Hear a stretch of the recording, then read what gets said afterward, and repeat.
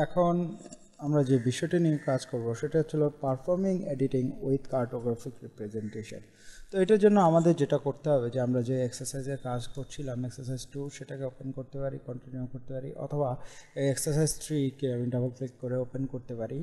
তো exercise three আমরা এখন ওপেন করছি। এখন আমার এক্সারসাইজ থ্রি ওপেন হয়ে গেল। আমরা যেটা করব এখন আমাদের যেটা বুকমার্ক বুকমার্ক থেকে দেখেন এই যে এরিয়া বিল্ডিং এই এরিয়া বিল্ডিংয়ের উপরে আমরা একটা ক্লিক করব। এখন আমার পার্টিকুলারলি যেটার উপর কাজ করছি, সেই জায়গাটি জুম হয়ে গেল। এখন আমার যেটা করতে হবে, সেটা হচ্ছিল আমার এই যে বিল্ডিং এ আন্ডার স্কোর রিপ্রেজেন্টেশন গ্রিড যেটা, এটার পর রাইট মাউস ক্লিক করে এটাকে অনলি সিলেক্টেবল লেয়ার করব। তো রাইট মাউস ক্লিক করে সিলেকশন সিলেকশন থেকে make this the only selectable layers আমরা এটা আগের টিউটোরিয়ালে করেছি। তো আমি ক্লিক করলাম make this the only selectable layers এরপর আমার যেটা করতে হবে এডিটিংটি অন করতে হবে স্টার্ট এডিটিং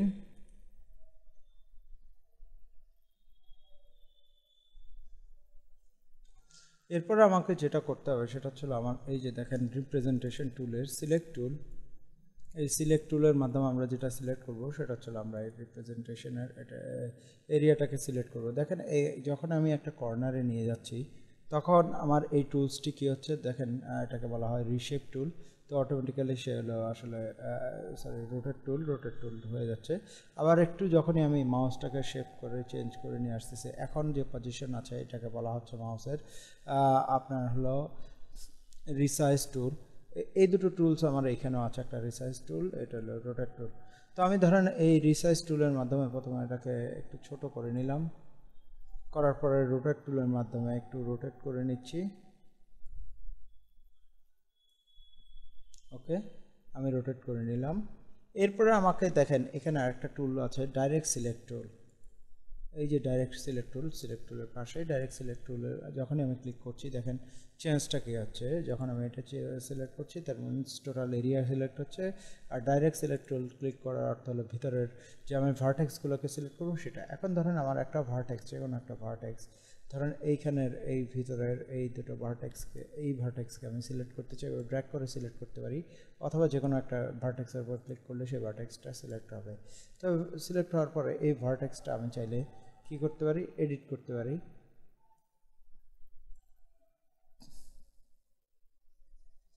এখানে ধরেন এই এই ভার্টেক্সটা আমি সিলেক্ট করছি সিলেক্ট করার পর এখন ভার্টেক্সটাকে আমি এরকম ট্রেনে বা শিপ ধরে আমি যেহেতু এরকম প্রবলেম হচ্ছে, আমি শেপ করলাম। আবার এই ভার্টেক্সটাকে এরকম আমি ধরেন সিলেক্ট করছি। করার পরে এই ভার্টেক্সটাকে টেনে নিলাম।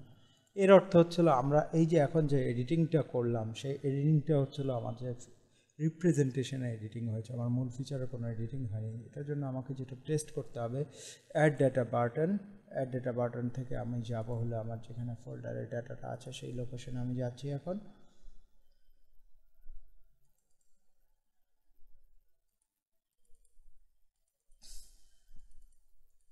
ধরেন আমি এক্সারসাইজ থ্রিতে আছি রিপ্রেজেন্টেশন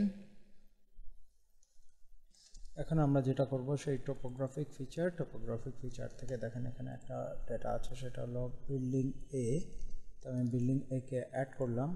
এখন দেখেন অ্যাড করার পরে এটার রিপ্রেজেন্টেশনটাই আমাকে শো করছে। তো আমি এটাকে প্রপার্টিজে যাব। সিম্বোলজিটাকে যদি চেঞ্জ করি সিম্বোলজি আমি সিলেক্ট করে দিই ফিচার ওকে দেখেন আমার মূল ফিচার যেরকম ছিল সেরকমই আছে, শুধু রিপ্রেজেন্টেশনটা আমাকে চেঞ্জ হচ্ছে। দ্যাট মিন্স আমরা ধরনের যত এডিটিংটা করব। আলটিমেটলি এটা হলো অ্যাড হবে আমার রিপ্রেজেন্টেশনের উপরে এডিটিং হবে। মূল ফিচার মূল file same as it is ঠিক থাকবে। তো এখন আমরা মূল এখন যে ফাইলটা অ্যাড করেছি এটাকে রিমুভ করে দিই। এখন আমরা যেটা করব সেটা হচ্ছিল আমার এখন স্টপ এডিটিং করে দিই। ইয়াস দিলাম। এটাকে সেভ করে রাখছি। তো আমার এভাবে আমি কী কাজ করতে পারি ফিচারকে রিপ্রেজেন্টেশন এডিটিং করতে পারি। তো এরপরে আমরা আসি যেটা এখন করব, সেটা হচ্ছিল রিপ্রেজেন্টেশন প্রপার্টিজ ডায়ালগস বক্স যেটা হচ্ছিল ড্রয়িং ট্যাব সেটাকে আমরা এখন টেস্ট করব। তো এটা করার জন্য আমি বুকমার্কে যাব বুকমার্ক থেকে দেখেন ট্রায়াল অ্যান্ড সোয়াম যে টুলসটি আছে, এখানে আসব। আসার পরে এই বুকমার্ক থেকে ট্রায়াল সোয়াম্পের উপর ক্লিক করলাম ক্লিক করার পরে এই যে ট্রায়াল অ্যান্ড সোয়াম্প লেয়ারটি ওপেন হয়ে গেল। এখন ওয়েটল্যান্ডস এ রিপ্রেজেন্টেশন এটার পর রাইট মাউস ক্লিক করছি সিলেকশন সিলেকশন থেকে হলো make this the only selectable layer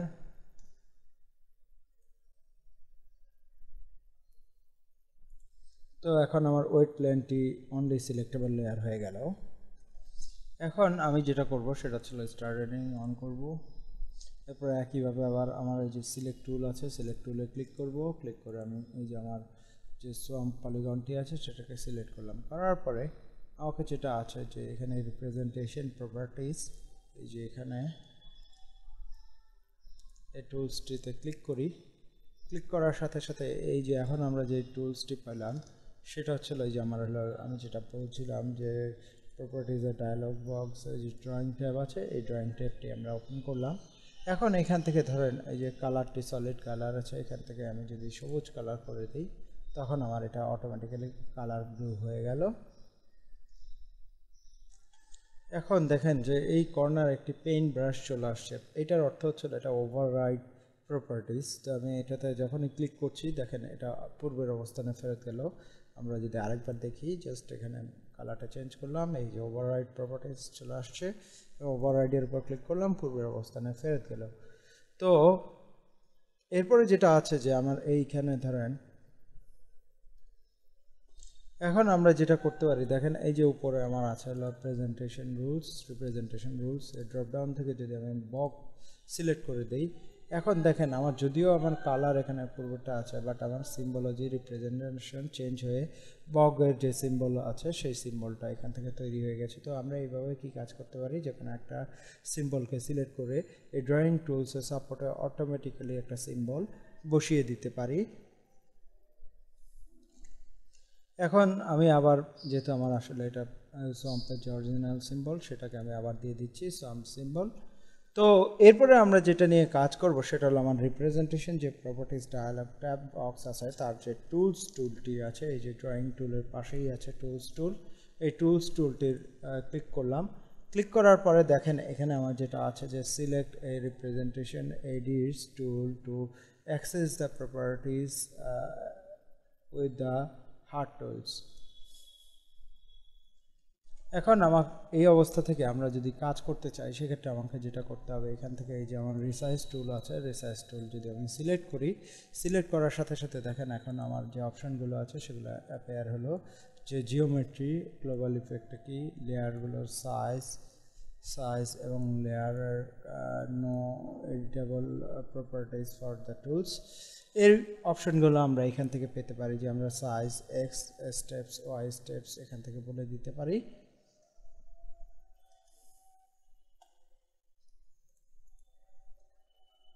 এরপরে আমার যেটা করতে হবে যে আমি এইখান থেকে দেখেন যে কোনো একটা কর্নার থেকে যদি আমি রিসাইজ যেহেতু আমার সিলেক্ট করা আছে, আমি যেখানে কর্নার থেকে যদি আমি রিসাইজ প্যাটার্নে ক্লিক করি, একটু ছোটো করে নেই, তাহলে দেখেন যে আমার এখানে এটা চেঞ্জ হয়ে যাচ্ছে।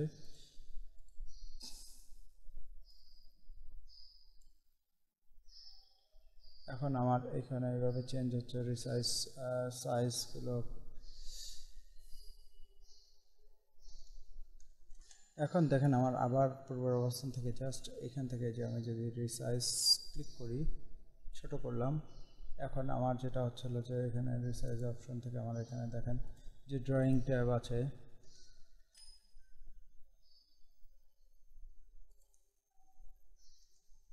এখন আমরা এই যে দেখেন যে রিসাইজে আমার এই যে সম যে সিম্বলগুলো আছে ভিতরে, এই সিম্বলগুলোকে দেখেন আমরা কি কাজ করতে পারি? রিসাইজ করতে পারি।